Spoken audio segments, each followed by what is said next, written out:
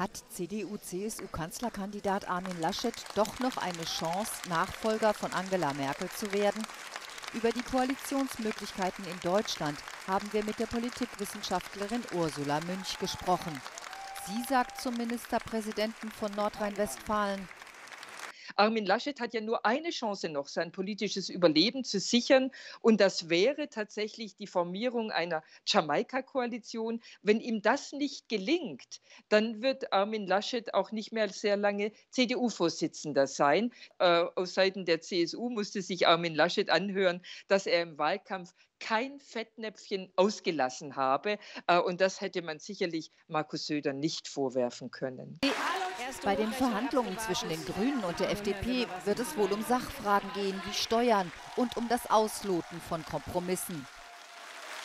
Unter Umständen könnte es darum gehen, vielleicht den Kohleausstieg zeitlich nach vorne zu ziehen. Die beiden Kleinen können einiges besprechen, aber nichts alleine unter sich ausmachen.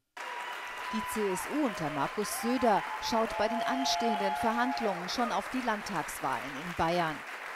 Und deswegen für die CSU kann es unter Umständen mit Blick auf die bayerischen Landtagswahlen im Herbst 2023 kann es unter Umständen attraktiver sein zu sagen, wir wollen jetzt nicht eine äh, Jamaika-Koalition auf Teufel komm raus, wir wollen lieber uns konsolidieren als Union und vor allem als CSU in Bayern erfolgreich sein. Und da ist natürlich eine rot geführte Ampel wesentlich für die CSU wesentlich einfacher als Wahlkampf Thema und als potenzieller politischer Gegner, als wenn man selbst eine ja äh, etwas schwache Jamaika-Koalition anführen würde. Ausschließen will Ursula Münch weder eine erneute große Koalition noch eine Jamaika-Koalition mit CDU, CSU, Grünen und FDP.